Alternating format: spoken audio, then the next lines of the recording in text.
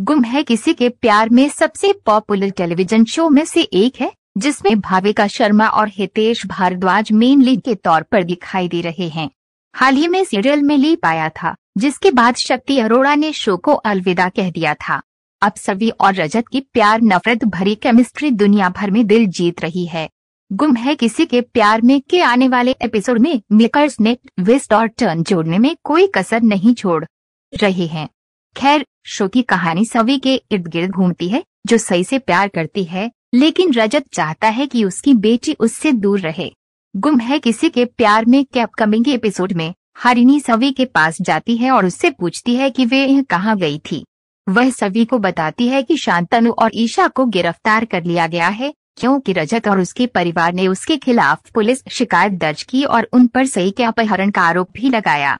हालाँकि किसी को ये पता नहीं है कि ममता ने सई को कफ सिरप की पूरी बोतल पिला दी थी, जिसके बाद सभी उसे अस्पताल लेकर गई थी।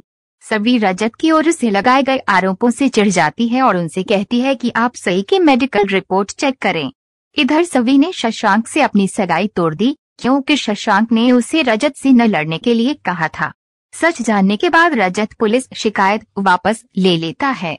सही ठीक होने के बाद सभी को अपने पेरेंट्स के रूप में चुनती है, जिसके बाद रजत उससे शादी करने का फैसला करता है। वह अपनी बेटी सई की कस्टडी वापस लेना चाहता है। क्या सई के लिए सवी और रजत एक दूसरे संग शादी करके खुश रहेंगे?